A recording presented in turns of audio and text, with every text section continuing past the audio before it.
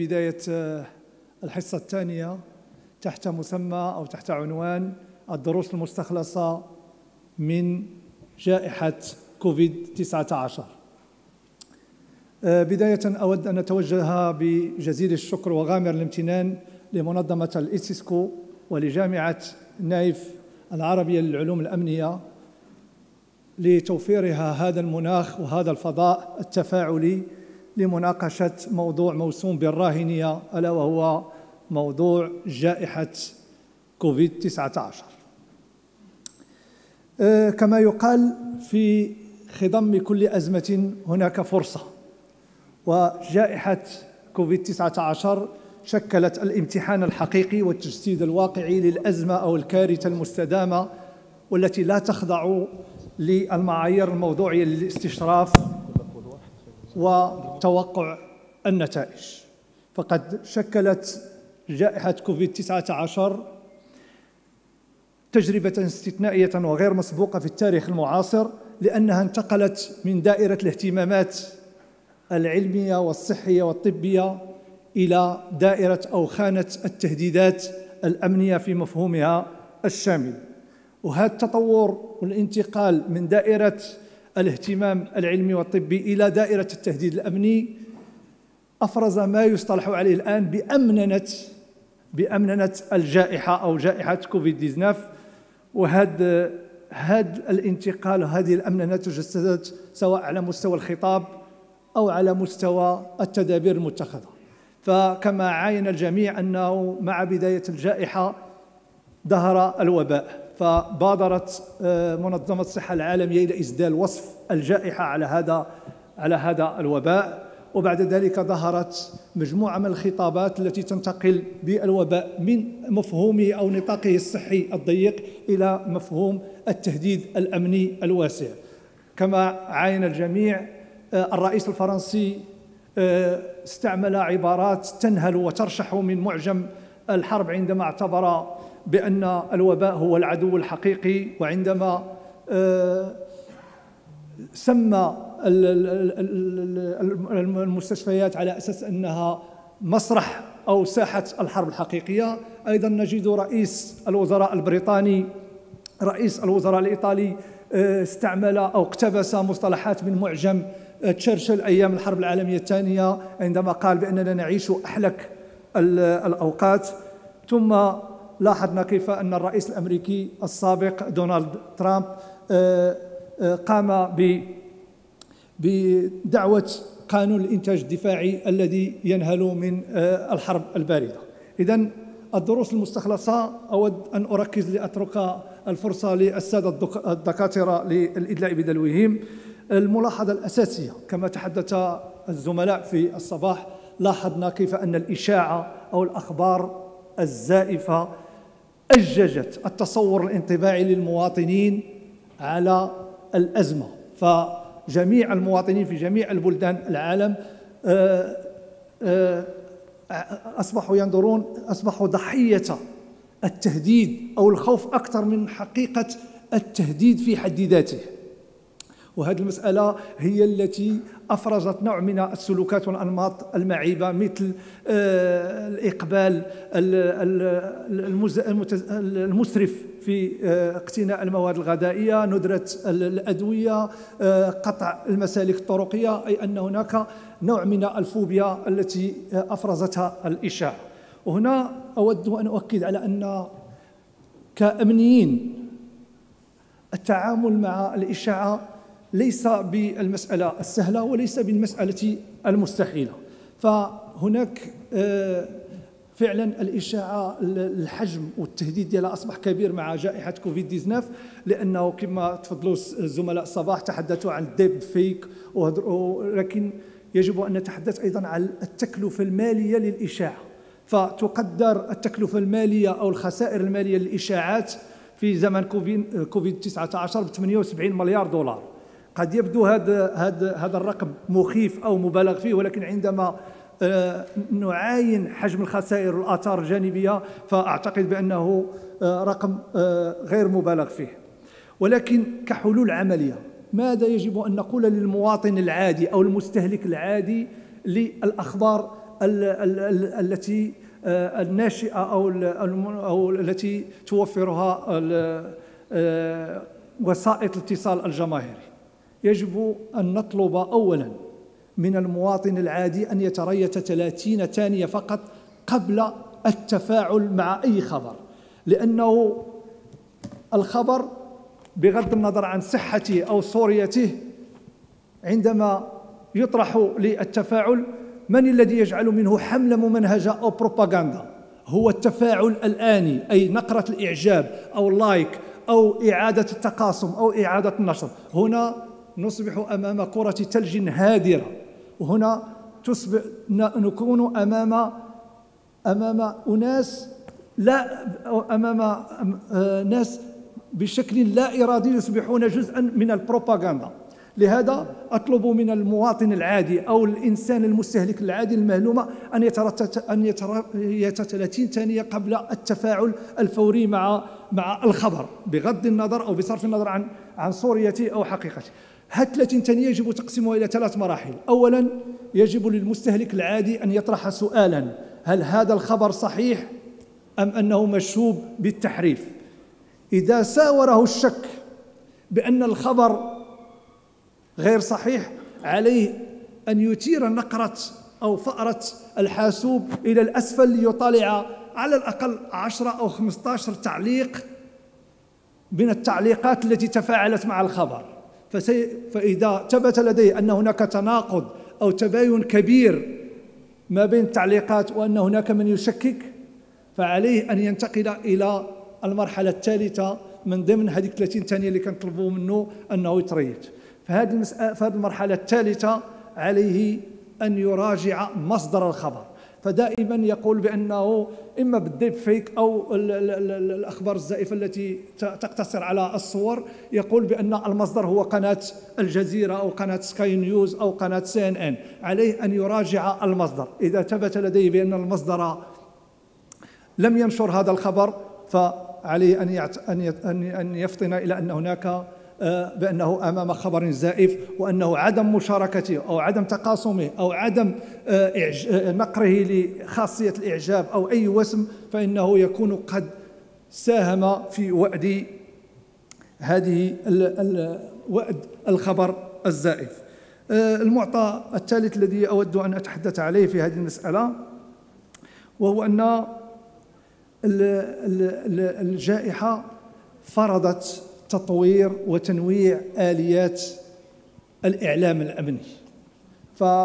فالمؤسسات الأمنية وجدت نفسها في خضم جائحة كوفيد 19 أمام سيل كبير من الأخبار الزائفة أمام وجدت نفسها في صلب أو قطب الرحى في في في تدبير عمل تدبير جائحة كوفيد 19 إلى جانب الأطر الطبية والشبه الطبية.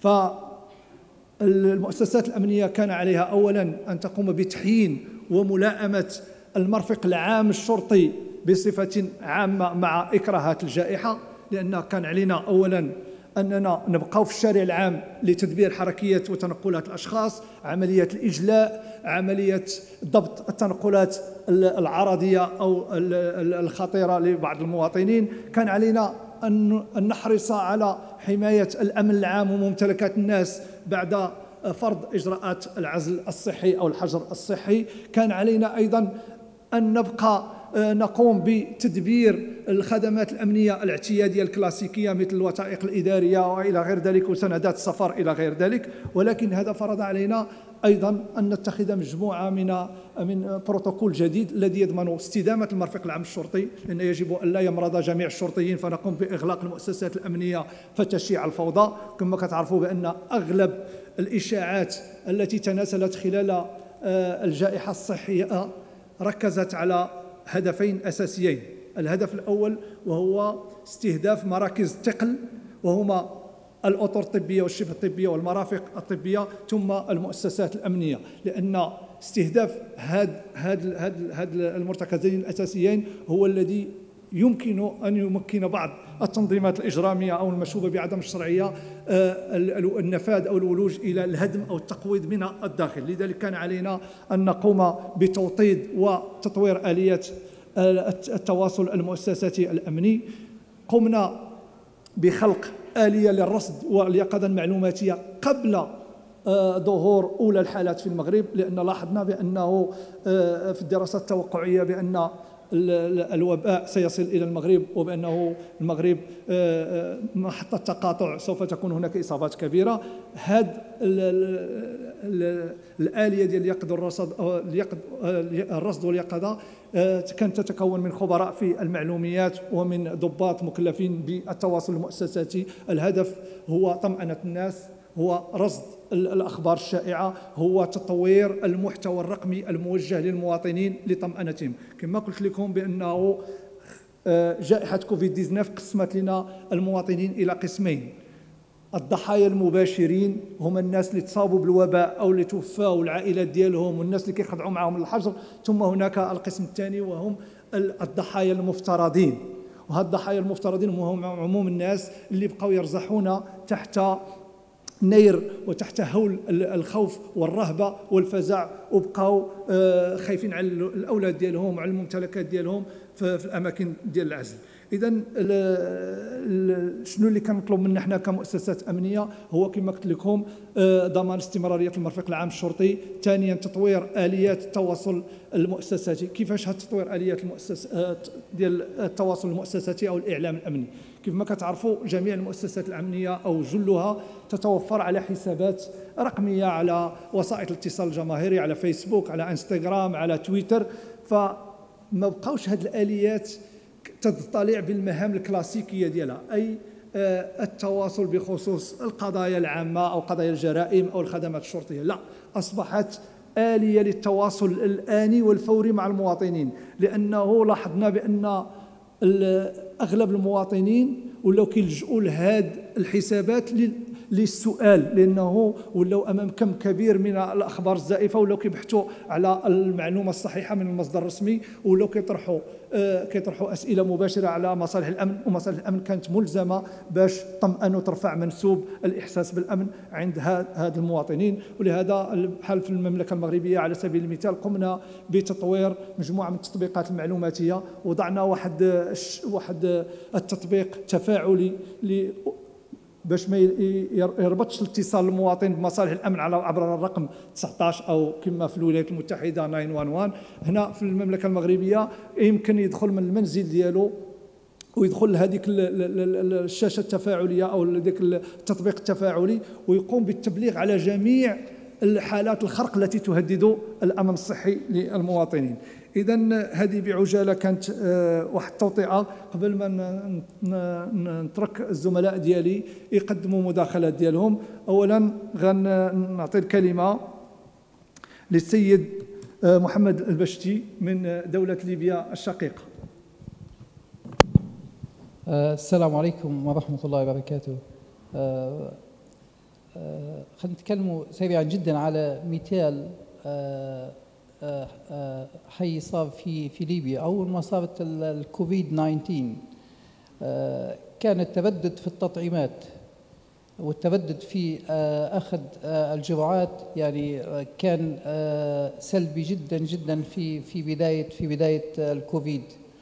وهذا ناتج على الشائعات الموجودة في في التواصل الاجتماعي.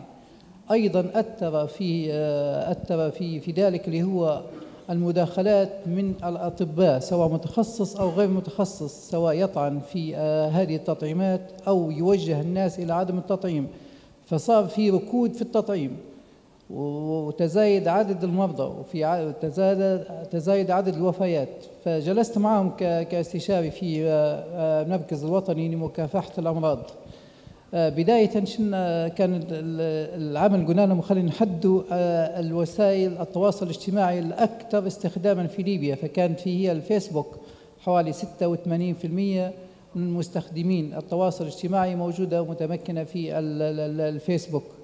آه، ضمن دراسات ثانية اللي هو من هم أكثر شريحة تتقبل التغيير أو أو تقبل بالشائعات.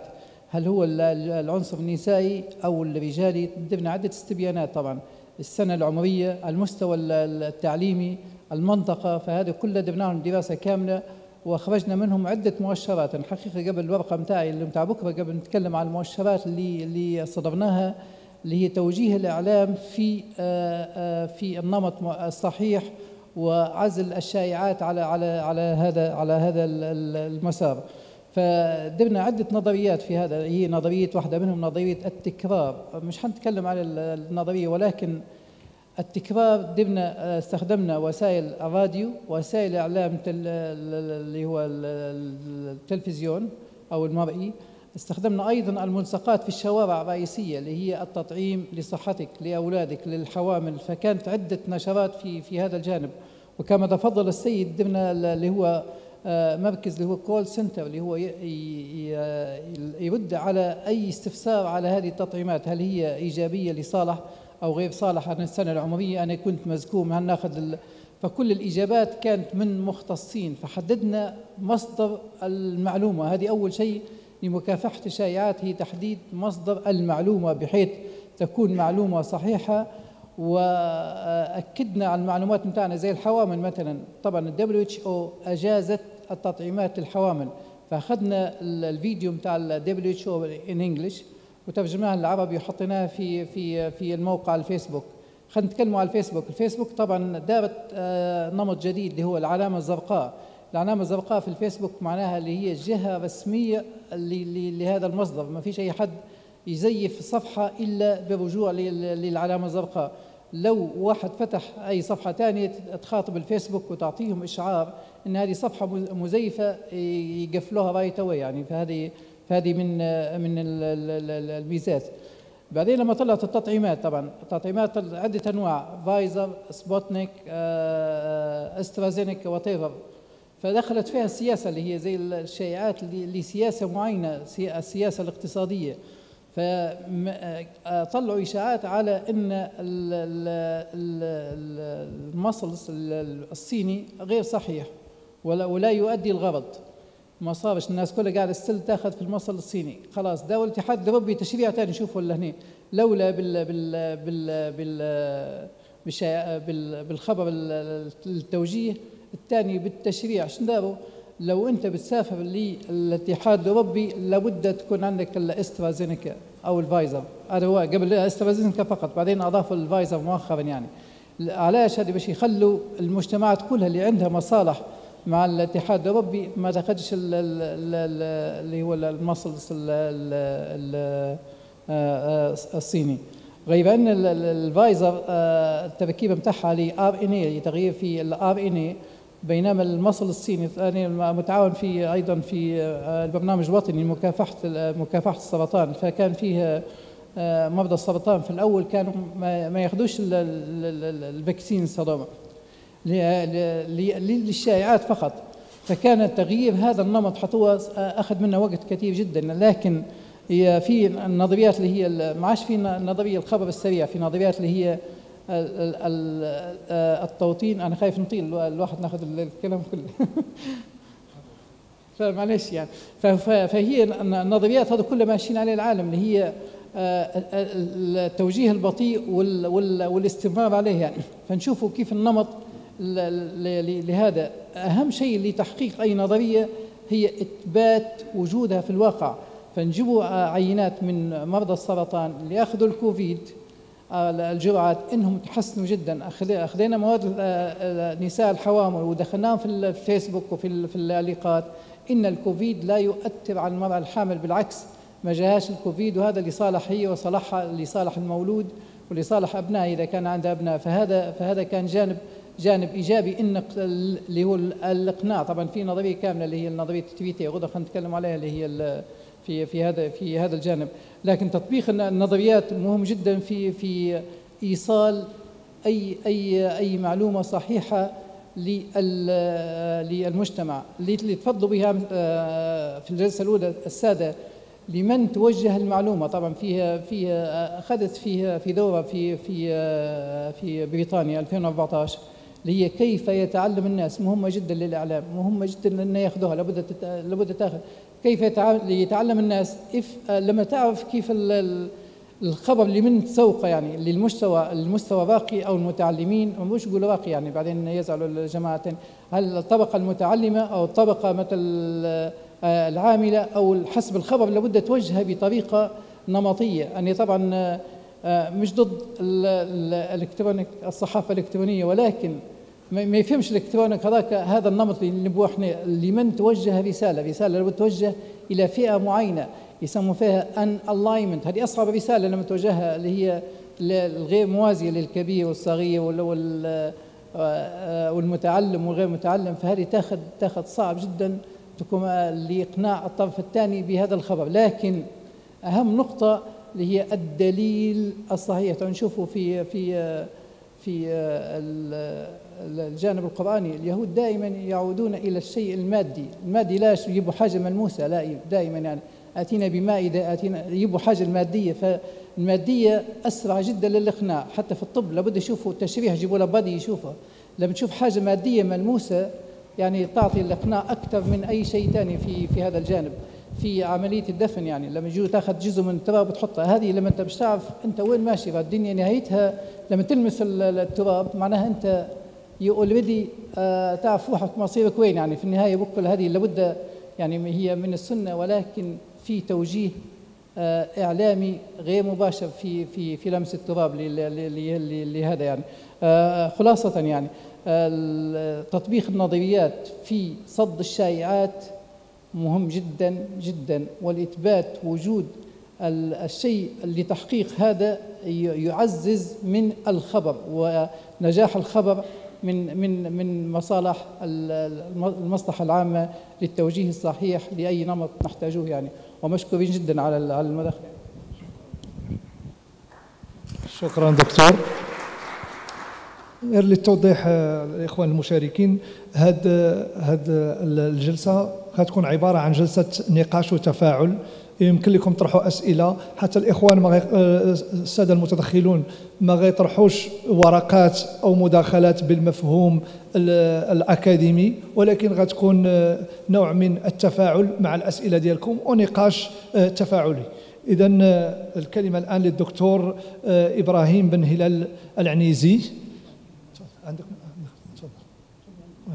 بسم الله الرحمن الرحيم. الصلاة والسلام على نبينا الأقر الأمين. آه، الحقيقة أنا رايح أتكلم آه، جائحة كورونا والناحية الاجتماعية النفسية. في عندنا نظرية لسيمون فيرود وهي تقول اللاوعي وهو اختزال العقل والمشاعر والمدارك والأحاسيس. لكن آه، ليس نحن بصدد شرح هذه النظرية بقدر إنما نتكلم عن آه، موضوع الوعي الاجتماعي وعلاقته بالجانب الصحي أو بالأمن الصحي بالاحرى. حقيقة أنا اجريت بحث في أثناء جائحة كورونا عام ال 21 آه، عنوان البحث كان الوعي الاجتماعي وعلاقته بالأمن الصحي ونشر هذا البحث في جامعة في مجلة جامعة الإمام جامعة العلوم مجلة العلوم الاجتماعية الحقيقة العلاقة المشكلة عندنا في مجتمعنا العربي والإسلامي. مشكلة يعني حقيقة تجدنا على المستوى النظري المستوى الفلسفي المستوى التفكيري جيدين ولا أروع منا حقيقة.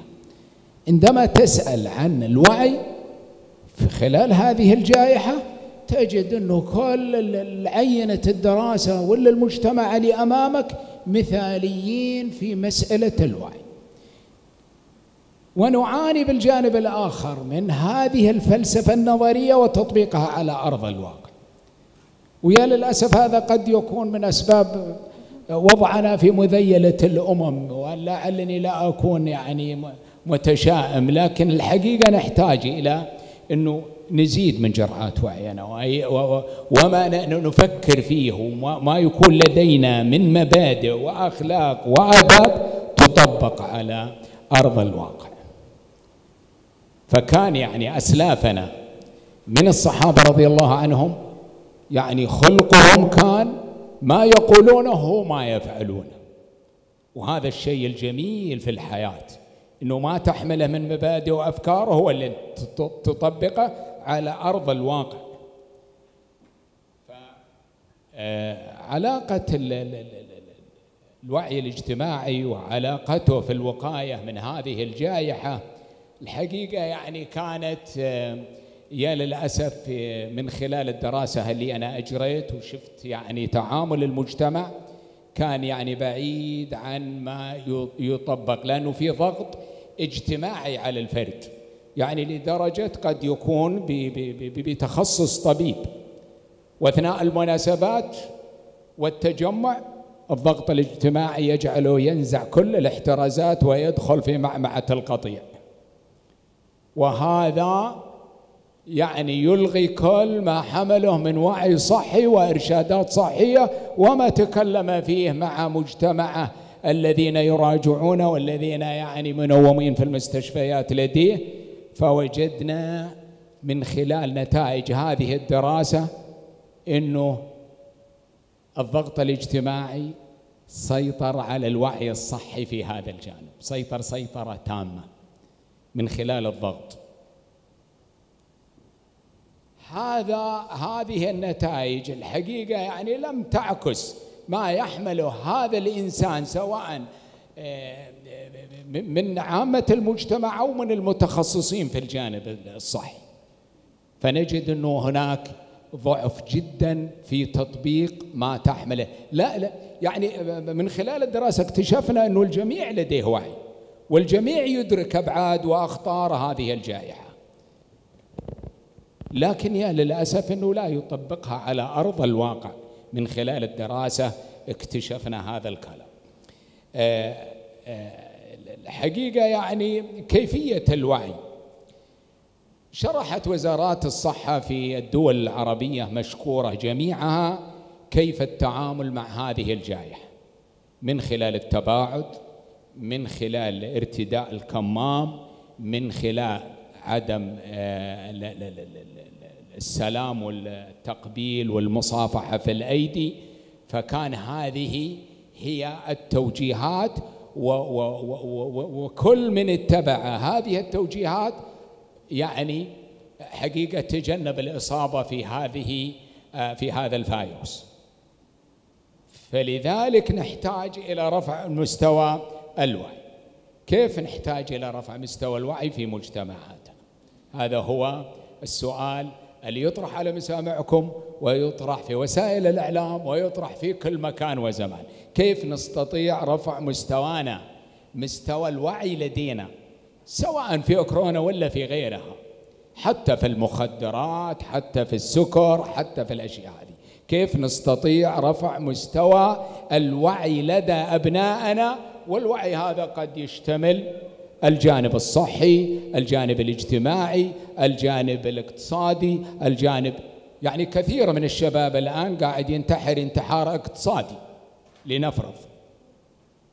لم يكن لديه الإدراك والمعرفة في تسهيل أموره. هذا في الجانب الاقتصادي. في الجانب الصحي الشباب مندفع. ليس لديها الإدراك من خلال وسائل التربية. والآن اشترك في وسائل التربية حقيقة آه، وسائل كثيرة دخلت على الخط في مجال التربية. ناهيك عن الأسرة ناهيك عن جماعة الرفاق ناهيك عن المسجد جماعة المسجد الشارع المجتمع المحلي. دخلت هناك وسائل التواصل الاجتماعي وهذه هي الشر المرسل للشباب. أصبح الشاب وهو في غرفته مسكر عليه أصبح في يعيش في عالم افتراضي بعيدا عن الوالدين والإخوان و إلى آخر. وتعبى هذه الأدمقة من ثقافات مختلفة تماما وأطرها المرجعية تجاوزت الحدود. أنا ما زلت أتكلم عن الوعي الاجتماعي. كيف نستطيع أن ندرك أبناءنا ونوعيهم؟ من الجانب الصحي والجانب الاجتماعي والجانب الاقتصادي وإلى اخره. أنا في ظني وهذا المفترض بصفتي حقيقة يعني اشتغلت في وزارة التربية والتعليم أكثر من خمس خمسة عشر عاما مدرس ثم مدير مدرسة ثم مشرفا تربويا ثم التعليم العالي مع الطلاب نفسهم أنا في ظني أنه يجب أن نغير أساليبنا التربوية مع أبنائنا تغير الزمان وقيل في المأثور ربوا أبناءكم لزمان غير زمانكم. وهذه المقولة صدقت الآن في وضعنا الحالي. دقيقة شيخنا. أستأذنك دقيقة لأن عندنا عامل الوقت ما عدلتوا بيننا. حقيقة أعطيته الدكتور محمد وقت كثير وأنا لما جاء الموضوع زين قعدتوا تقولوا لي انتهى الوقت. أعذرني أعذرني أنا إلى إلى سأختم بطريقة كيف نتعامل مع الوعي. أنا أتكلم عن الوعي الاجتماعي وعلاقته. ليس في كورونا. كورونا بمشيئة الله ستنتهي وترحل لكن يجب أن نحافظ على النشأ العربي المسلم الآن وكيف نحافظ على هؤلاء. آه، يجب أن نغير أساليبنا التربوية مع أبنائنا وهذا حتما حتما أن سنغير. يجب أن لا نقف في مكاننا ونقول أنه خلاص أبناء الجيل ذا جيل فاسد هذا جيل التقنية فكونا منه ما نستطيع نتعامل معه لا لا. يجب أن نتعامل ويجب أن نطور أنفسنا يجب أن نضيف برامج إلى أدمغتنا في عملية التربية الحديثة. ابنك الصغير ذات ال 12 سنة هذا لديه معلومات أكثر منك من خلال التقنية وأجهزة التواصل. فيجب أن نطور أدمغتنا ونتعامل مع أبنائنا بطريقة سليمة حتى نستطيع أن نؤثر في الوعي الصحي والوعي الاقتصادي والوعي حتى الغزو الفكري. تذكرون أنه معظم الدول العربية والإسلامية مرت بكارثة الإرهاب ومن أبنائها للأسف وهذا قصور منا كآباء وكمربين يجب أن نحتضن أبناءنا قبل أن يحتضنهم غيرنا. والآن دخلت التقنية إلى بيوتنا وإلى غرف نومنا. وهذه هو الجانب الذي يحتاج أن نكافحه ونطور من أنفسنا من أجل الاستباق بضم أبنائنا إلينا. أرجو أني أفتكم في هذه الدقائق القليلة. واعتذر عن الإطالة. والسلام عليكم ورحمة الله وبركاته. شكرا للدكتور إبراهيم العنيزي وشكرا لسعة الصدر ديالكم. ولكن عندنا في الحقيقة هاجس الوقت ما عندناش أظن الوقت بيتقلص أكثر كل ما يجي هو كما يقول الفقهاء قليل ونقلله. آه، الكلمة الآن للدكتور عبد العليم عبود فليتفضل مشكورا. بسم الله الرحمن الرحيم. أنا يعني هحاول بقدر الإمكان أن أنا في دق بعض الدقائق المعدودة أستعرض آه، دراسة أنا أعد تم تنفيذها بعنوان الاستراتيجيات المستقبلية لإدارة الأخطار الأوبئة والكوارث الصحية في ظل تجربة أزمة فيروس كورونا المستجد. الدراسة نشرت في مجلة تصدرها جامعة نايف وهي دراسة محكمة وصدر عدد خاص عن أزمة كورونا وكانت هذه الدراسة التي أعددتها ضمن هذه الدراسة. هختصر يعني بشكل كبير جدا وبقدر الإمكان في دقائق معدودة أهم ما توصلت إليه الدراسة. طبعا أزمة فيروس كورونا كانت من الأزمات العاتية التي صنفها الكثير في على مستوى العالم أجمع على أنها أشد خطورة أو تأتي أو خطورتها تأتي بعد الحرب العالمية الأولى والثانية. وترتب عليها العديد من التداعيات التي استعرضتها الدراسة ثم تطرقت الدراسة إلى محاولة التنبؤ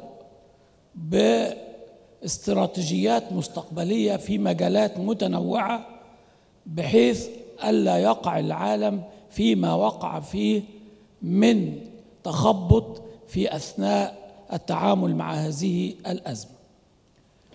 وعلى الرغم من أن العالم تعود على أنه بيواجه اوبئه وأزمات صحية كثيرة وآخرها كانت 2018 اللي هي أزمة الإنفلونزا الأسبانية بل إن التاريخ بيشهد إن تقريبا كل قرن من الزمان كل 100 سنة بتحدث أزمة عاتية في المجال الصحي.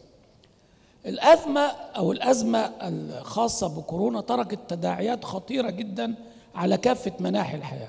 على سبيل المثال في المجال الصحي ثبت إن حتى الدول التي نظن أنها يعني في مقدمة العالم من حيث التقدم والإمكانيات وخلافه لم تستطع أن أو لم تفي إمكانياتها بالتعامل مع هذه الأزمة. وانهارت النظم الصحية في بعض البلدان المتقدمة حتى أننا رأينا جميعا المرضى في الشوارع والمرضى في ملاعب كرة القدم والمرضى في منشآت غير صحية خصصت لاستيعاب الأعداد الكبيرة. ترتب أيضا أن ثبت أن رغم الإنفاق الكبير جدا للدول في مجالات متنوعة لو قارناها بالإنفاق على السلاح على سبيل المثال إلا أن الإنفاق على الأبحاث المتعلقة بالتطعيمات والخاصة بمواجهة الأوبئة في حالة يرثى لها وبدأنا نلهث وراء الشركات الكبيرة المنتجة للأدوية في العالم إنها ونستجديها إنها تطلع جزء كبير جدا من الطاقم الصحي لم يستطع التعامل وأصيب مع الأزمة واستعنا بمؤسسات أمنية والمؤسسات الأمنية الحقيقة لعبت دور كبير جدا في مواجهة أيضا ثبت أن القطاع الصحي الربحي لا يعول عليه في مواجهة الأزمات والكوارث الصحية. هو قطاع يهدف إلى الربح بالدرجة الأولى اللي هي المنشآت الصحية الخاصة. ولكن في الأزمة الحقيقة بل هم استفادوا يمكن كما تعلمون تكاليف الفحوصات وخلافه استفادوا استفادة كبيرة جدا. في مجال التعليم ثبت إن إحنا طبعا كل ده التداعيات دي يعني الدراسة وهي معايا اللي يحب ازوده بنسخة منها ما عنديش مانع إن بتحتاج مستقبلا إن إحنا نغير نزود الإنفاق على الدراسات الخاصة بالتطوير اللقاحات وخلافه إن إحنا نرفع مستويات المادية والتعليمية للعاملين في القطاع الصحي إن إحنا في فئات وهكذا. مش عايز أطيل لأن الموضوع كبير. في مجال التعليم ثبت إن إحنا آه، عندنا يعني تحولنا إلى لولا التقنيات اللي كانت موجودة والحمد لله يعني دول العربية ودول الخليج بشكل خاص يمكن كانت قطع شوط كبير جدا في مجال التقنية ساعتها بشكل كبير لم تتوقف العملية التعليمية أبدا لا في الجامعات ولا في المدارس. وثبت ده بيستدعي مستقبلا إن إحنا نغير إنفاق نظرتنا للإنفاق على التعليم الإنفاق أقصد الإنفاق التقليدي بناء المدارس والفصول وإلى آخره إن إحنا محتاجين ننفق أكتر على التقنيات على الذكاء الاصطناعي على تدريب الهيئات التدريسية والطلاب على كيفية التعليم والتعامل في مجال التعليم عن بعد. كل ده محتاجين إن إحنا نعيد النظر فيه مستقبلا. أيضا حصلت تداعيات في المجال الاقتصادي وشفنا انخفاض الأسهم وسقوط البورصة وخسائر شركات الطيران نتيجة توقف حركة السفر. شفنا في الجانب النفسي وسعادة الدكتور أشار لي والجانب الاجتماعي وما ترتب على الجائحة من فرض تقليل الخروج من المنزل بل إن بعض الدول منعت لفترات معينة الخروج نهائيا من المنزل وما ترتب عليه من إصابة البعض بحالات نفسية وحالات اكتئاب وتغيرت خارطة العلاقات الاجتماعية في الفترة اللي صاحبت الأزمة. أيضا في المجال التكنولوجي وده أهم مجال حصلت إن تم الاعتماد كتير بشكل كبير جدا حتى في أبسط الأشياء وهي المطاعم وطلب الوجبات والتعامل مع من بعد من خلال التقنيات والتقنيات هنا ساعدت الدول. طبعا في دول كثيرة للأسف الشديد بتفتقر إلى مثل هذه الأمور عانت وما زالت تعاني حتى في موضوع الحصول على التطعيمات وبالتالي دي دفعت أو الفاتورة بتاعتها كانت أعلى كثيرا من الدول التي استطاعت أن تفي بمتطلبات التعامل مع هذه الأزمة. إذا خلاصة القول حتى أعطي الفرصة لزميلي إن الأزمة كانت تجربة خطيرة جدا. وزي ما قلت لكم أصحاب السعادة إنها صنفت إنها أخطر أزمة بعد الحرب العالمية الأولى والثانية. السؤال اللي بيطرح نفسه هل بعد ما تنتهي الأزمة وهي إن شاء الله في سبيلها إلى الانتهاء المثل عندنا بيقول ترجع ريمة لعادتها القديمة. هل إحنا يعني خلاص الأزمة انتهت ولا هنرجع نشتغل على الثغرات اللي أفرزتها الأزمة في كل القطاعات اللي أنا ذكرتها. ده سؤال مهم جدا وبشكركم وآسف على الإطالة. شكرا. جدا شكرا للدكتور عبد العليم عبود.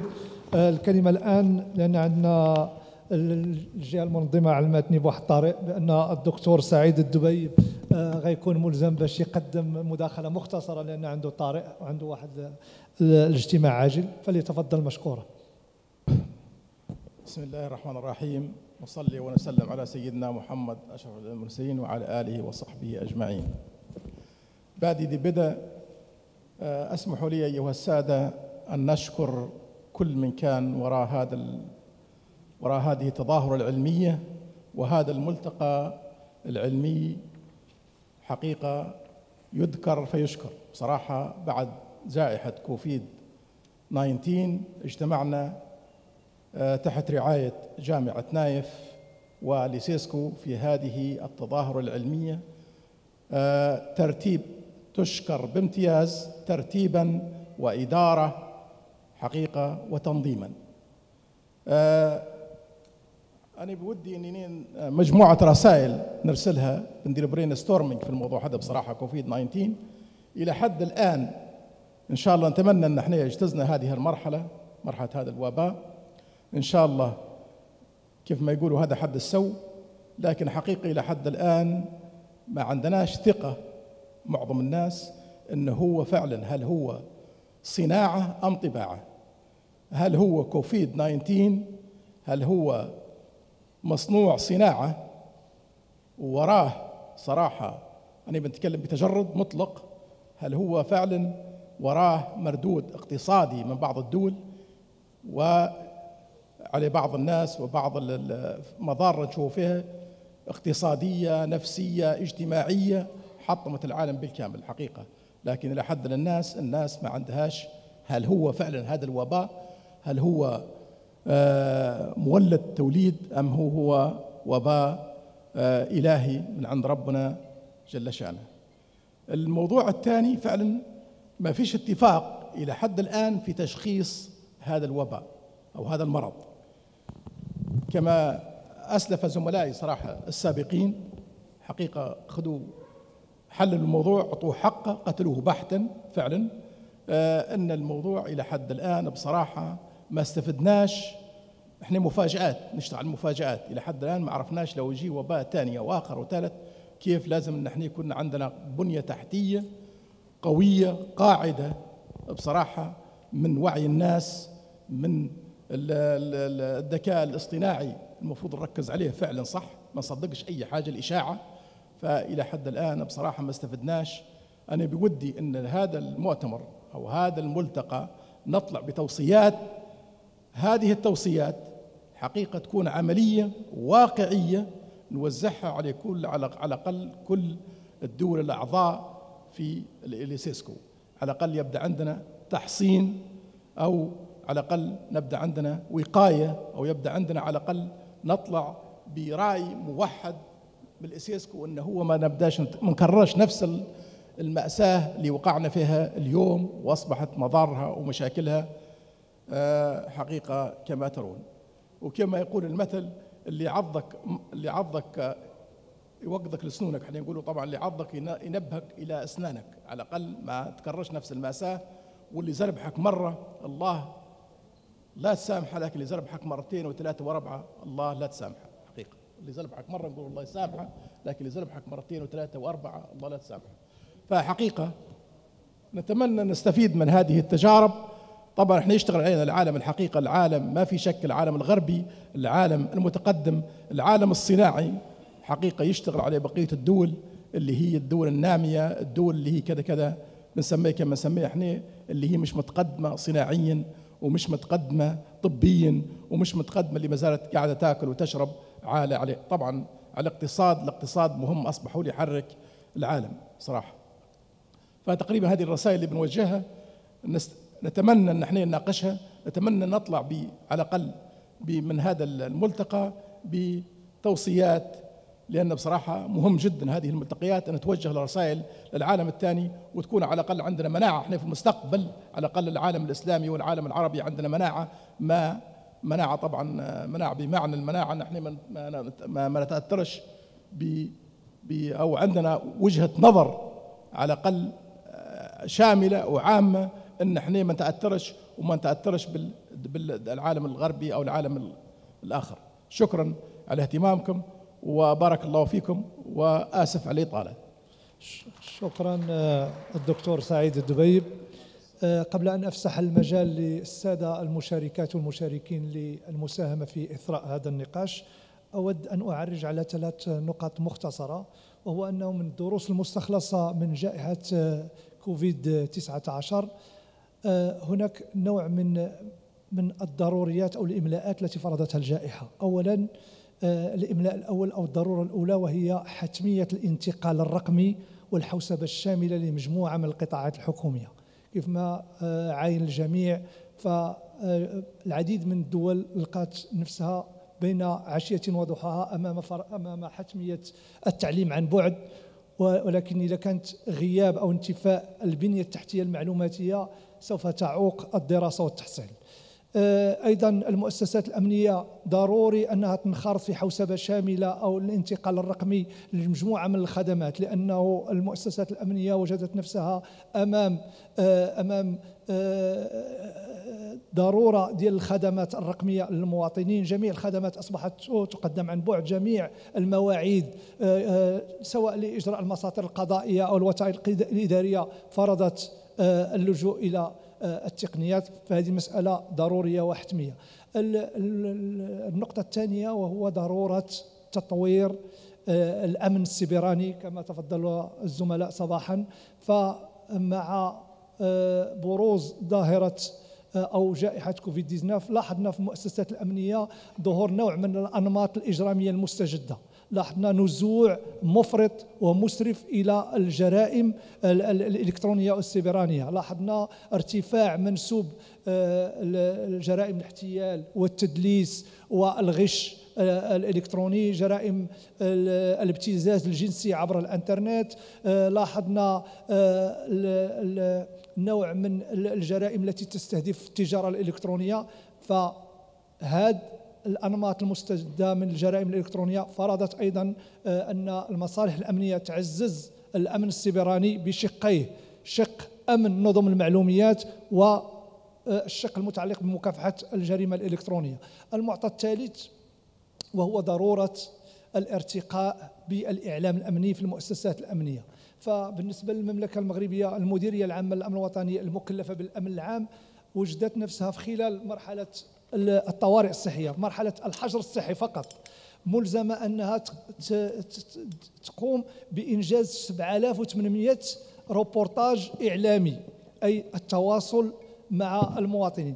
فكيف يمكن التواصل أو إنجاز 7800 روبورتاج أو عملية آه، تواصلية بدون توفر على آه، كوادر وأطر ملمة بالتواصل المؤسساتي وملمه بالإعلام الأمني لأن المحتوى الموجه لطمأنة المواطنين إيه، يلزمه أناس متخصصين. اذا هذو ثلاثة ديال الإملاءات حاولت نتشارك معكم قبل ما نفتح نفتح المجال للسيدات والسادة الحاضرين فليتفضلوا مشكورا. مشكورين.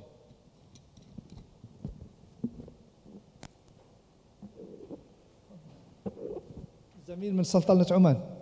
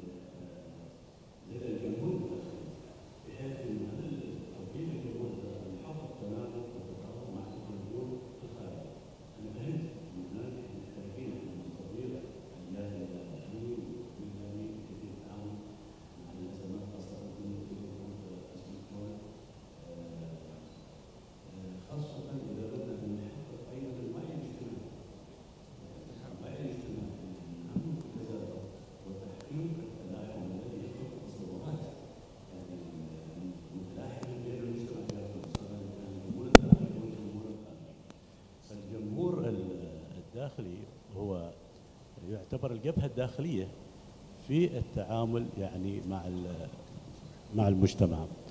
فهل أستطيع أن أقول هناك من خلال دراساتكم من خلال تتبعكم هل هناك في مساحة يعني أستطعنا أن نحققها من خلال الجمهور الداخلي؟ هناك أيضا بعض المنظرين يقول هناك في ضعف في الجانب التوعوي لدى المؤسسات الأمنية وأيضا حتى لدى المؤسسات الصحية. فكيف نحقق يعني هذا يعني التناغم في التعامل مع الأزمات. ولا سيما نحن لا زلنا أيضا في أزمة كورونا. شكرا لكم. شكرا سيد العميد. أه، تفضل الدكتور الحقيقة سؤال مهم. هو أنا يمكن آه، فاتني الإشارة وأنا بتكلم عن إن ظهر بما إننا بنتكلم عن الإعلام اللي سعادتك أشرت له إن ظهر حاجة جديدة. إحنا عمالين نتكلم عن الإعلام الأمن الإعلام الأمن الإعلام الأمن. لا في حاجة جديدة ظهرت أو أفرزتها هذه الجائحة وهي الإعلام الصحي. الإعلام الصحي. يعني مين فينا اللي يعني في بعض الدول انتهجت إنها حتى تنظم مؤتمرات صحفية يومية أو أسبوعية ايا كانت الفترة يقوم أو يؤديها مسؤول صحي مع مسؤول أمني. الاثنين في في نفس المؤتمر الصحي أو أكتر. وكان ناس بتترقب وتنتظر مواعيد هذه المؤتمرات الصحفية للمعرفة والحصول على مزيد من الاطمئنان. ده بيخلينا نفكر إن لازم يبقى في برانش أو فرع جديد كده في مجال الإعلام وهو الإعلام الصحي لأنه لعب دور كبير جدا في العمل. الاهتمام بالإعلام هو يعني ما فيش شك إن الملتقى كله عن الإعلام والإعلام الامني على وجه التحديد هو في غاية الأهمية. وبالذات زي ما عرض في عن الإعلام الجديد أنت عندك دلوقتي وسيلة خطيرة جدا. إذا لم تتنبه لها الدول والمسؤولين سوف وحتى الحرب الحرب دلوقتي بقت حرب مش بالضرورة هي حرب أسلحة ده في حرب أخرى تشن من من خلال وسائل التواصل الاجتماعي يعني من خلال الإعلام. وأصبح الإعلام وهنتكلم فيها على إن الإعلام جزء أساسي في الحروب حتى اللي بتتم بين الدول اللي بينها حروب. عافانا الله من الحروب.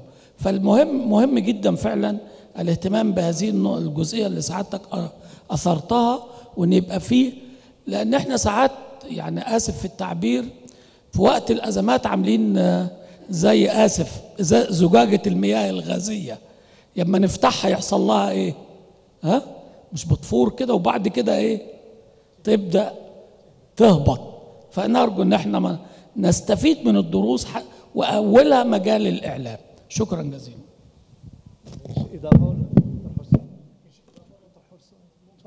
تفضل. حقيقة يعني أنا أشكر سعادة العقيد على السؤال مهم جدا. أنا إذا كنت فاهم السؤال صح فهو آه، على أساس أن نترك مسافة للتلاحم بين أفراد المجتمع أي مجتمع إن كان يجب أنه يكون هناك أولا آه، معالجة وسائل الإعلام بشكل ولا تترك يعني الفرقة بين المجتمعات مثل وسائل الإعلام. والآن وسائل الإعلام يا شباب في المجتمعات كلها صايرة مثل لعب مثل فريق الكرة. شيء هجوم وشيء اندفاع. فأعلامك قاعد يدافع وأعلام غيرك يهجم عليك وهذا اللي حاصل. ناهيك عن أيضا وسائل الإعلام اللي أنا أسميها خفية وهي حقيقة أشد خطورة من الإعلام الظاهر. وهي أجهزة التواصل الاجتماعي والبرامج لأنها تدخل عليك على أنها صديق وتدخل في المجتمع تبث سمومها على أنها صديقة للمجتمع. فلذلك يجب أن نرفع الوعي بخطورة هذا الهجوم الإعلامي اللي ضار في المجتمعات بشكل قوي. فمن خلال رفع الوعي في المجتمع وهذا لا يأتي أركز وأعيد كلامي لا يأتي إلا من خلال التربية لأبنائنا. تربية أبنائنا هي لتعزز وطنيتهم تعزز انتمائهم للمجتمع. في نظرية هذه النظرية لعالم اسمه هيرشي وهو يتكلم عن الجريمة وأسباب الانحراف السلوكي. فقال في سبب واحد يسميها الارتباط له نظرية كاملة اسمها الارتباط. كلما مبدأ النظرية يقول كلما قوي قوي ارتباط الفرد بمجتمعه كلما قل ارتكابه للسلوك المنحرف. فلذلك كيف نكسب أبناءنا؟ كيف نطور عقولهم؟ نزرع فيهم الوعي؟ نحن قربنا هذه المساحة وضيقناها بحيث لا يكون هناك أبد أي آه، آه، شحنات أو اختلاف شكرا دكتور تفضل. آه، بقات عندنا أربع دقائق لأن عندنا عامل الوقت كيتحكم فينا. تفضل دكتور باختصار باش نزيدوا شي سؤال. مشكور جدا على السؤال سؤال قيم جدا يعني واللي تفضلوا به السادة اللي هو اللي تفضل فيه السيد الدكتور عبود والدكتور العنيزي. يعني أعطوه جوانب جيدة جدا يعني اللي هو الإعلام الصحي. أنا بنضيف حاجة بس يعني سريعة باش ما ناخذش من من الوقت. العالم كله يعني إحنا جزء من العالم. لابد نشوفوا العالم شنو يعني حتى حتى ماذا فعلوا ونشوفوا إحنا نديروا مرات أفضل منهم. ما نقولش نشوفوا لكن دائما نشوفوا أولويات ماذا صنعوا ونشوف إحنا على الأقل ندير مرات آه، آليات. فكانت في حاجة اسمها بروتوكول علاج موحد. طبعا تفهموا الدول كلهم حطوا بروتوكول للعلاج. بعدين اللي تو يشتغلوا على بروتوكول الوقاية. حتى إحنا المفروض يعني نفس اللي قلتها بارك الله فيكم مشكور حتى تفضلوا في الدكاترة. إحنا المفروض نشتغلوا على بروتوكول الوقاية. بروتوكول العمل في الأزمات يعني آآ آه، آآ آه، حتى حتى آه، في ديننا الاسلامي يقول لا يلدغ المؤمن من الجحر مرتين. إحنا خلاص المفروض نديروا آليات ونحط بروتوكول موحد. يا ريت تتبناه بعض الجهات. وأنا المؤتمر هذا أراه يعني آه، اللي هو الحجر الأساس لهذه البروتوكولات اللي هي البروتوكول العمل في الأزمات وتوجيه الإعلام في في إصدار هذه آه، المذكرات أو ال التشريعات في في وجهة العمل في في الأزمات. وممكن زي ما تفضل دكتور عبود ممكن حتضاف الإعلام الصحي في هذا الجانب.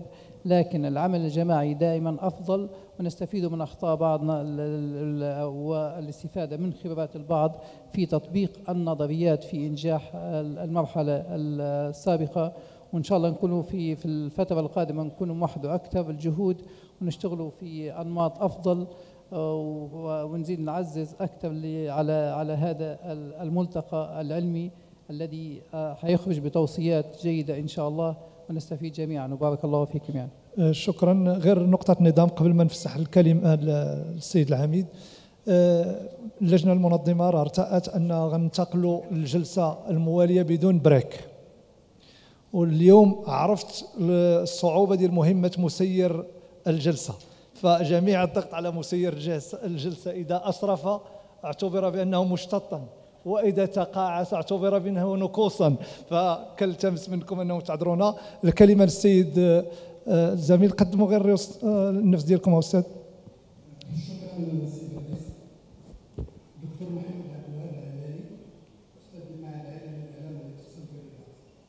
النقطة الأولى هي الحاجة إلى الإعلام المتخصص والإعلام العلمي.